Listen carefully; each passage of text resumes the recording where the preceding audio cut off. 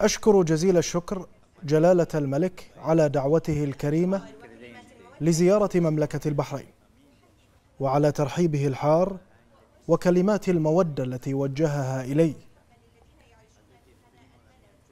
أحيي بحرارة كل واحد منكم وأود أن أوجه فكرة مودة ومحبة إلى الذين يعيشون في هذا البلد إلى كل مؤمن وكل فرد. وكل عائلة. العائلة التي يعرفها دستور البحرين بأنها حجر الزاوية في المجتمع. لكم جميعا أعبر عن سروري لأكون بينكم. هنا حيث تحيط مياه البحر برمال الصحراء وحيث ناطحات السحاب المدهشة ترتفع إلى جانب الأسواق الشرقية التقليدية. تلتقي حقائق متباعدة. يلتقي القديم والحداثة ويندمج التاريخ والتقدم. وهنا أناس من أصول مختلفة تشكل فسيفساء حياة فريدة. عندما كنت أستعد لهذه الزيارة تعرفت على شعار الحيوية الذي يميز البلد. أشير إلى ما يسمى بشجرة الحياة التي أستلهمها لأشارككم بعض الأفكار. إنها شجرة الأكاسيا الرائعة التي بقيت على قيد الحياة منذ قرون في منطقة صحراوية حيث تندر الأمطار وحيث يبدو أنه من المستحيل أن تقاوم هذه الشجرة المعمرة وأن تزدهر في مثل هذه الظروف. وفقا للكثيرين يكمن السر في الجذور التي تمتد عشرات الأمتار في باطن الأرض وترتوي من مستودعات مياه جوفية. اذا الجذور مملكة البحرين التزمت البحث عن ماضيها وتعزيزه. الذي يروي قصة أرض في غاية القدم تدفق عليها الناس منذ آلاف السنين منجذبين بجمالها الظاهر خاصة في ينابيعها الغزيرة بمياهها العذبة فاشتهرت وكأنها الفردوس وسميت مملكة دلمن القديمة بأرض الأحياء. وإذا عدنا بالتاريخ إلى الجذور البعيدة في الزمن إلى أربعة آلاف وخمسمائة سنة من الوجود البشري المستمر يظهر كيف أن الموقع الجغرافي والميول والمهارات التجارية للناس بالإضافة إلى بعض الأحداث التاريخية أعطت البحرين فرصة لتكون نفسها على ملتقى طرق لإثراء متبادل بين الشعوب. بهذا يظهر أحد أوجه هذه الأرض. كانت دائما مكان لقاء بين شعوب مختلفة. هذا هو الماء الحي الذي ما زالت جذور البحرين تستمد منه الحياة اليوم. وأكبر غنى في هذا البلد يتألق في تنوع الأعراق والثقافات فيه. وفي العيش معا بسلام. وفي ترحاب السكان التقليدي. وفيه تنوع من غير تسوية ساحقة ولا تذويب للاختلافات. هذا هو كنز كل بلد متطور حقا.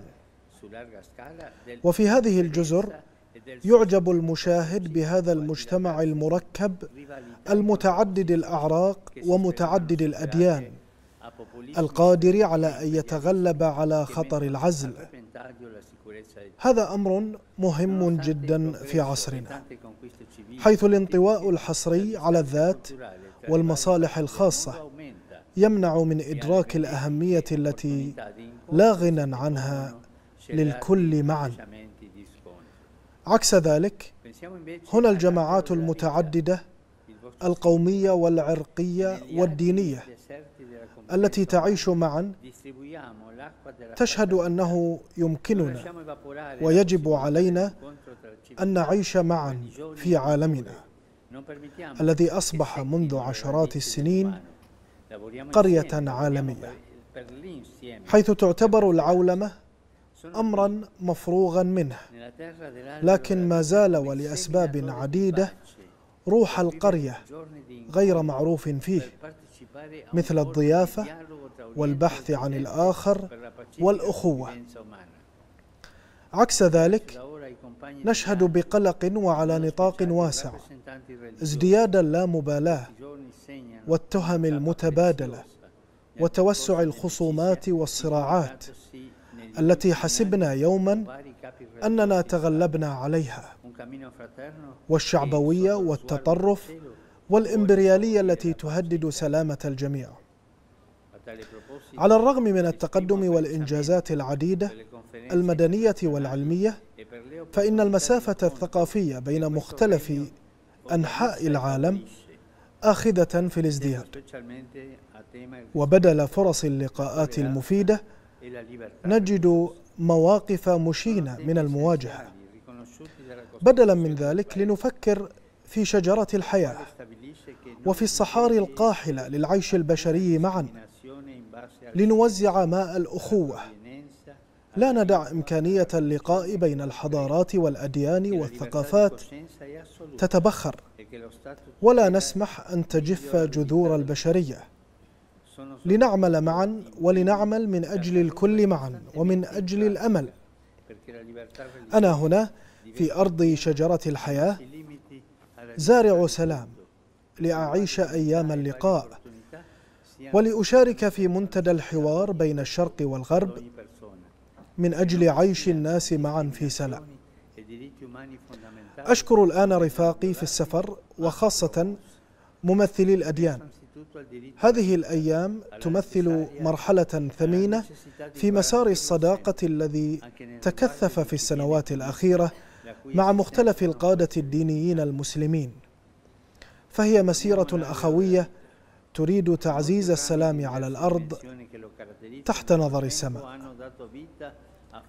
وفي هذا الصدد أعرب عن تقديري للمؤتمرات الدولية ولفرص اللقاء التي تنظمها هذه المملكة وتعززها خاصة مع التركيز على الاحترام والتسامح والحرية الدينية. هذه مواضيع أساسية أقرها دستور البلاد الذي ينص على أنه يجب أن لا يكون هناك تمييز على أساس الجنس أو الأصل أو اللغة أو الدين أو المعتقد وفق المادة الثامنة عشرة وأن حرية الضمير مطلقة وأن الدولة تحافظ على عدم المساس بالعبادة المادة الثانية والعشرين.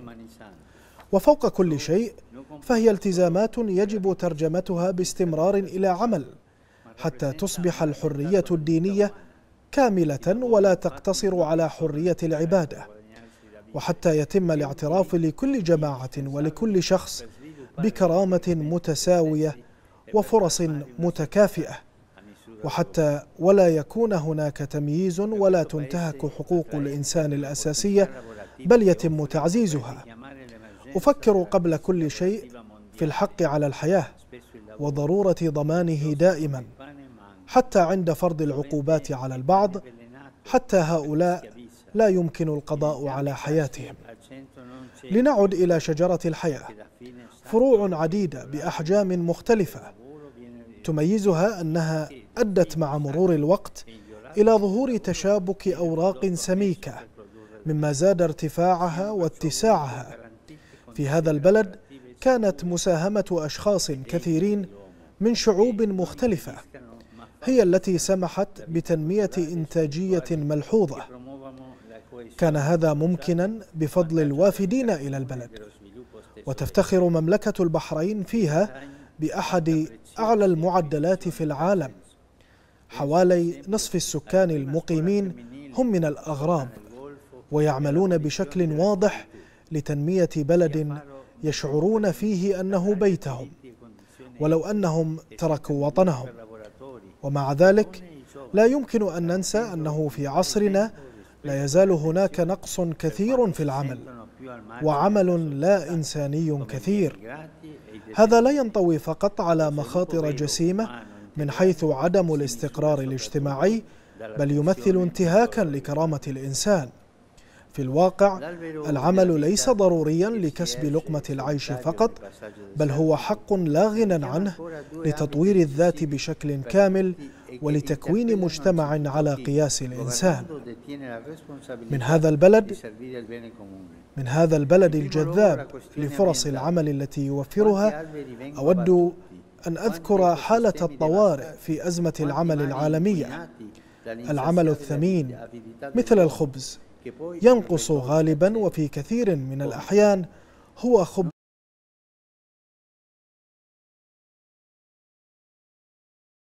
مسموم لأن فيه عبودية. في كلتا الحالتين لم يعد الإنسان هو المحور. الإنسان هو أصلا هدف العمل المقدس والذي لا تمس كرامته فيحول إلى وسيلة لإنتاج المال. لذلك يجب ضمان ظروف عمل آمنة ولائقة بالإنسان في كل مكان. لا تمنع بل تشجع الحياة الثقافية والروحية وتعزز التماسك الاجتماعي لصالح الحياة المشتركة وتنمية البلدان. تفتخر البحرين بمكتسبات ثمينة في هذا المجال. أفكر مثلا في أول مدرسة للبنات في الخليج والغاء الرق لتكون منارا لتعزيز الحقوق في كل المنطقة وظروف عادله وافضل للعمال والنساء والشباب وتضمن في الوقت نفسه الاحترام والاهتمام للذين يشعرون بانهم على هامش المجتمع مثل المهاجرين والمساجين التنميه الحقيقيه البشريه والمتكامله تقاس قبل كل شيء بالاهتمام بهؤلاء لا تزال شجرة الحياة التي تقف وحيدة في مشهد الصحراء. تذكرني بمجالين حاسمين للجميع ويخاطبان خصوصا الذين يحكمون ويتحملون مسؤولية خدمة الخير العام. في المكان الأول قضية البيئة. كم شجرة قطعت وكم من النظم البيئية التي دمرت؟ وكم من بحار تلوثت بجشع الإنسان الذي لا يشبع والذي يؤدي بدوره إلى نتائج عكسية.